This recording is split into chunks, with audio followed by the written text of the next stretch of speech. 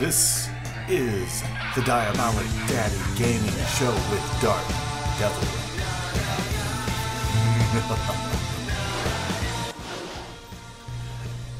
We're taking a look at the Scout, the first thing I want you to note is where it sits on the bracket.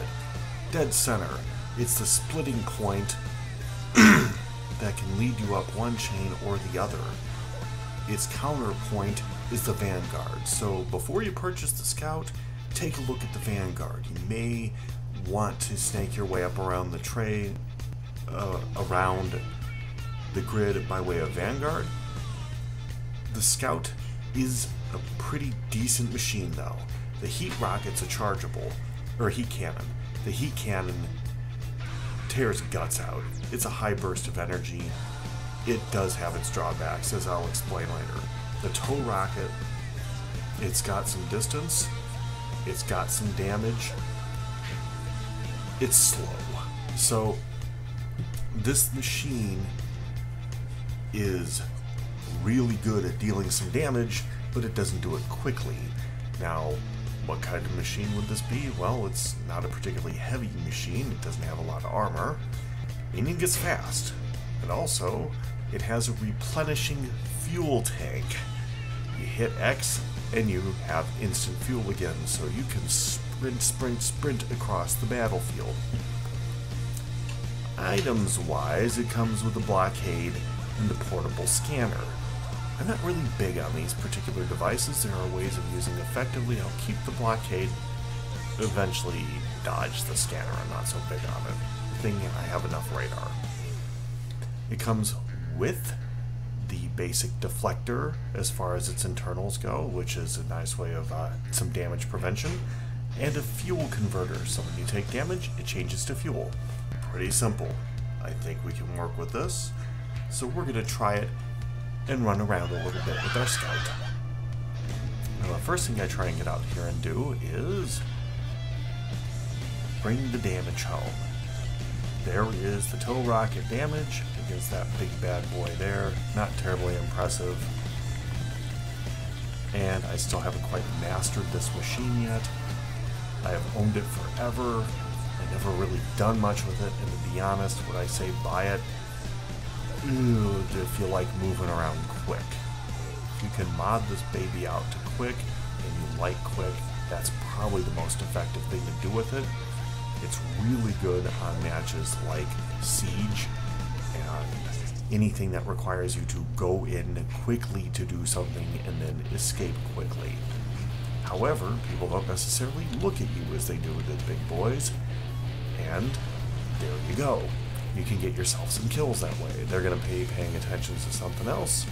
You roll up, you smack them, you get some points. Some people make this work really well. To be honest, the fully charged heat cannon is a wonder of artificial mechanical engineering. It is a dream, depending on whose side you are, of course. It's a nightmare if you catch one of things, but if you notice, my 300 health get whittled down very rapidly. So I'm going to go through and I'm going to trade out some stuff. The first thing I have to do is get rid of that stupid scanner. I decide to look over some weaponry, maybe an HE charge or a turret or something like that. I end up getting the health recharge. Now I decide what kind of thing do I want? Do I want to commit to a big thing or blah blah blah? What I decide to do is pick up a lot of everything. So there's the afterburner. I'm going to pick up a full reconstructor. I'm going to go back in and add a little power surger, and it's going to make this little thing a fast son of a bitch. I like it this fast, but again, it's not my normal way. This guy, I don't know what he's doing, but this is awesome. Okay, I know what he's doing. He's repairing himself. This thing is really hard to aim from any distance, so I just go up here and just pound the heck out of this guy. And it goes over that quickly. And I throw out my little chicken. Hey, they're giving me free emotes. I might as well throw some chicken out. So now, I'm going to try and charge my little thing. It turns out you can fly and charge pretty well. You can't sprint and charge. That's one of the things I don't like about this. Because I try and get to the battle with my charge, and I can't do it. I can't sneak up people with a thing charged. This heat gun belongs on something else to a degree, and one of the big problems with the Scout is you can't change out your weaponry. Know, I tried. I'm not sure how I feel about that. I would like to be rid of the tow rockets and get something faster. The heat gun, like I said, is a, a marvel. I love the thing. The tow rockets are killing me. Having two guns with such disparate abilities and not being able to change one out really kind of sucks. So that's my big hang up with this machine. I see people use the Scout effectively. If you have the money and you haven't picked up something else yet, uh, I'm going to show you the Vanguard video. There's I've got a little series of these videos now.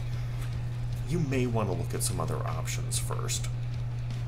I mean, you should anyway. Be a smart shopper. It doesn't matter what you're buying, whether you're buying games, if you're buying video games, if you're buying parts for the video games, if you're buying mechs, if you're buying a real car in real life. You don't stop on the first thing you buy and then, and then buy it. You look around.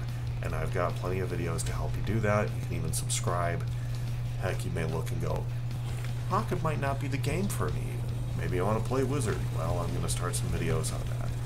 See, this thing works pretty well if you can fly well and aim well and move fast.